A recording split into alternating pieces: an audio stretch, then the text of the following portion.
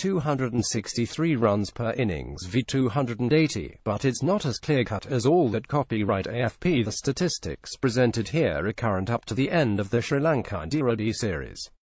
Only results against the eight oldest test-playing nations are considered in all data presented here. This article follows on from this one, which asked how Virat Kohli ranked in comparison to ODI greats of the past, such as Sachin Tendulkar and Viv Richards. A central reason for the high regard in which observers hold Virat Kohli is his record in run chases, which is, without question, superb. At the time of writing, in successful run chases, Kohli averages 95, an all-time high for any player who has participated in at least 20 successful run chases.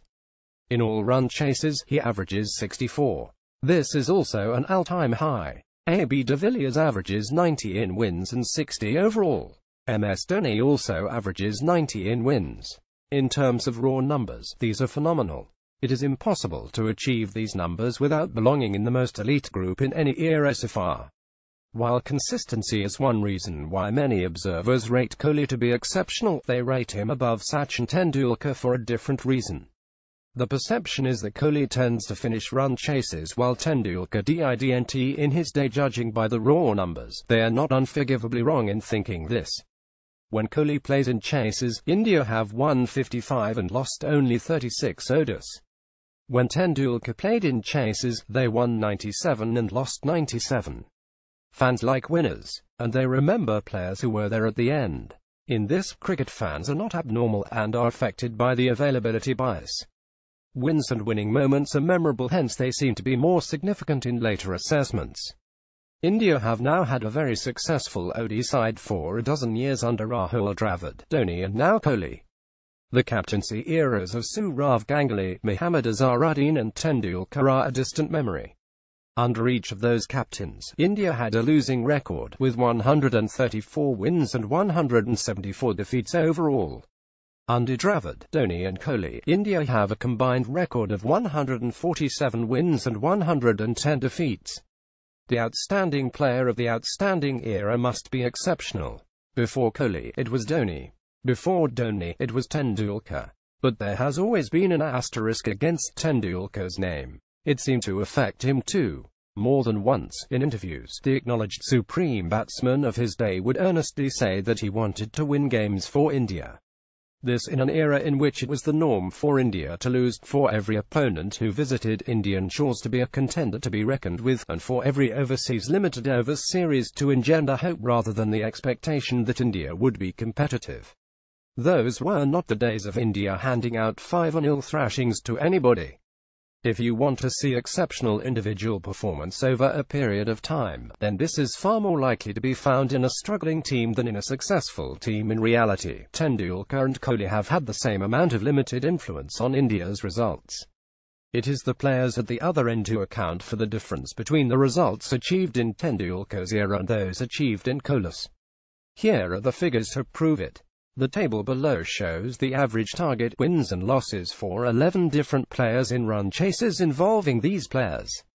It also shows the player's record and that of the players' teammates in these chases. To enable ready comparison, the player's average and scoring rate have been converted into an expected total over 300 balls faced, and the number of balls faced per dismissal is listed. As long as the player's dismissal rate is better than 30 balls faced per dismissal, the expected total is simply the scoring rate over 300 balls. In other cases, it is 10 times the batting average. The same has been done for teammates. The final two columns show the extent to which the player and his teammates exceed or fall short of the average target. For example, in chases involving Dhoni, the average target was 266. In these chases, Dhoni scored at a rate that would produce 241 runs in 300 balls. At the other end, the scoring rate was 288 runs per 300 balls. However, Dhoni was dismissed once every 58.3 balls, while at the other end, a wicket fell every 32.3 balls. The pattern of chases under Dhoni saw him effectively anchoring the chase, letting the scoring risks fall to the other end. Much of the risk-taking often happened before Dhoni got to the wicket. His apparent mastery in the run chase was made possible by the hitting firepower at the other end. His own hitting ability was a, in a sense, a reserve. The result was 79 wins and 58 defeats. Michael Bevan was similar to Dhoni as a player capable of scoring boundaries he once made 185 in 132 against Wasim Akram, Chaminda Vaas, Anil Kumble, Muttiah Muralitharan and Abdul Razak but better known for playing a measured game. When Bevan played for Australia in run chases the average target they faced was 230. At the end of his career, Bevan scored at a rate of 204 runs per 300 balls, 11.3% slower than the target demanded. However, at the other end, the runs came at the rate of 229 runs per 300 balls, almost the asking rate. It is expected that the figures for a given batsman and teammates can fall short of the average target score in this table. This is because chasing teams score only one run more than the target when they win, but they can lose by any number of runs.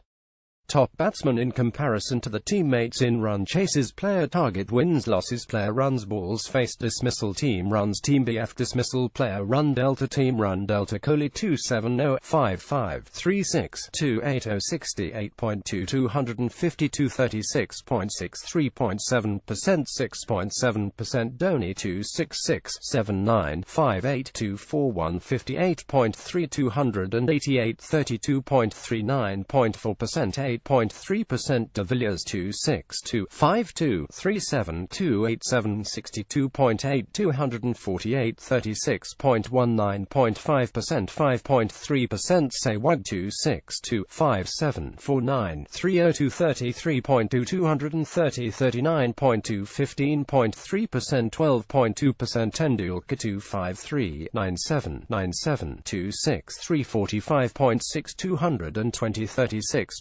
94.0%, 13.0% Tendulkar 1989052496473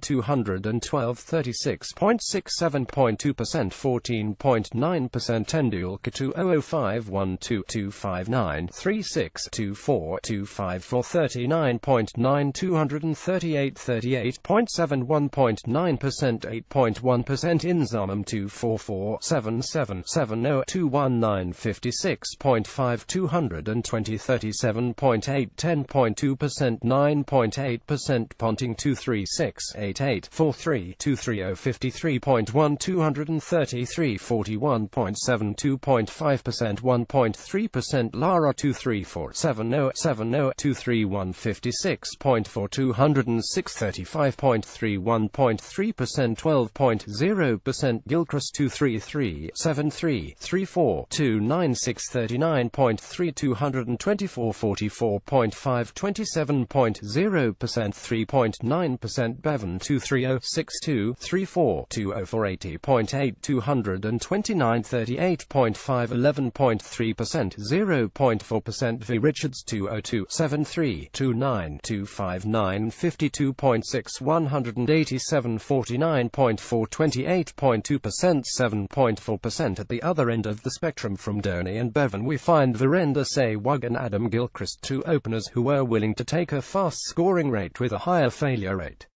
On average, Sehwag faced a target of 262 and scored at a rate that would produce 302 in 300 balls. But he was also dismissed once every 33.2 balls. At the other end, the runs came at the rate of 230 runs per 300 balls, 12.2% slower than the requirement but the dismissal rate at the other end was a full over lower than that of Sehwag. Gilchrist faced an average target of 233 and scored at a rate that would produce 296. As in Sehwag's case, the runs at the other end came at a slow rate, 224, but with greater consistency. Australia won 73 and lost 34 of these chases. Gilchrist and Sehwag played more or less in the same era. Much of the difference between the target 233 for Gilchrist, 262 for Sehwag is due to Australia's superior attack. Some of it is also because Australian grounds were significantly bigger, especially in the early part of Gilchrist's career. In chases featuring Kohli, India have faced an average target of 270. Kohli's scoring rate would produce 280 runs per 300 balls. At the other end, the performance has been strong producing 252 in 300 balls at a respectable dismissal rate of 36.6. In other words, Kohli's run production would produce 103.7% of the total, while the run production at the other end would produce 93.3% of the total. De Villiers has an even more impressive record. The average target faced by South Africa in run chases involving him has been 262. He scores at a rate that is a full 25 runs better while nearly matching Kohli for consistency a dismissal every 62.8 balls. At the other end, South Africa produced 248 runs at a respectable dismissal rate of 36.1. Chases involving Kohli have been won by India 55 times and lost 36 times. Chases involved De Villiers have been won by South Africa 52 times and lost 37 times. These records are nearly identical. Yet, despite these facts, the popular perception is that Kohli is an expert at the run chase while De Villiers is not. De Villiers has remained undefeated 26 times in 87 chases and South Africa have won 25 of these games. Kohli has remained undefeated 21 times in 93 chases and India have won 20 of these games. It is not the case that Kohli stays until the end more frequently than de Villiers. Perhaps the popular conventional wisdom about de Villiers is wrong. Tendulkar played ODI cricket for India over four separate decades. The average target India faced in chases involving him was 253. In these games, Tendulkar scored at a rate that would produce 263 runs in 300 balls, and he was dismissed once every 45.6 balls. Left to themselves, the batsmen at the other end would have reached only 220 33 runs short on average. Tendulkar's career spanned the whole of the Azharuddin, Ganguly, Dravid and Tendulkar captaincy eras, and the majority of Dhoni's captaincy. From 1989 to 2005, India faced an average target of 249 in run chases involving Tendulkar. In these chases, he scored at a rate that would produce 267 runs per 300 balls. The other batsmen would have produced only 212. This meant that despite Tendulkar, India had a losing record in chases from 1989 to 2005. From 2005 to 2012, after Dravid and Greg Chappell took the problem of chasing by the scruff of the neck and India had found powerful middle-order players like Yuvraj Singh and MS Dhoni, Tendulkar's contribution to chases declined. He went through an injury-plagued period around 2005 remember the Tendulkar headlines. He then returned, and despite his reduced output adjusted for inflation, India won 36 and lost only 24 chases during the following seven years. The wins include a World Cup final where they chased. They also won a triangular tournament in Australia chasing a target Tendulkar made a century in the first final. In his prime, Tendulkar was an exceptionally brilliant batsman in the run chase. The support at the other end was significantly weaker than it has been for Kohli. This not only meant that Tendulkar had to do a significantly greater amount of heavy lifting compared to Kohli. It also meant that he was hampered in this task a great deal more than Kohli has been. Tendulkar and Kohli in comparison to the teammates in chases player target wins losses player runs balls faced dismissal team runs team BF dismissal player run delta team run delta Kohli 27055362860 252 36.63.7% 6.7% Tendulkar 253 97 97 263 45.6 220 36.94.0 0% 13.0 Tendulkar 1989052496473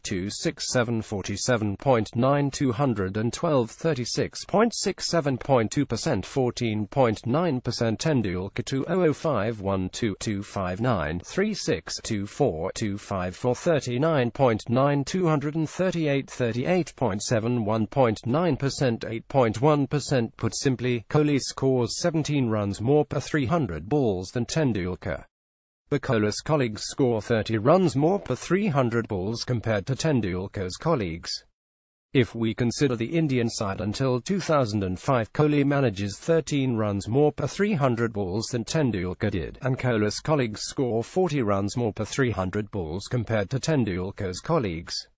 Overall, scoring rates have increased by a margin of 21 runs per 300 balls comparing targets. The difference between Kohli and Tendulkar is the support at the other end. It is this support that explains the improved results. If the two are compared as individual run chases, then Tendulkar was actually better than Kohli is. This idea, alongside the evidence from Dhoni's and Bevan's records, and all the others in the table above, point to an essential truth about chases in ODIs. The match winner as a creature of habit is an illusion. As a rule, chases cannot be successfully completed from one end. Strong, successful sides have superb players like each of the 11 in the table above, but if you want to see exceptional individual performance over a period of time, then this is far more likely to be found in a struggling team than in a successful team. In successful teams by definition, the tasks for individual players are simpler.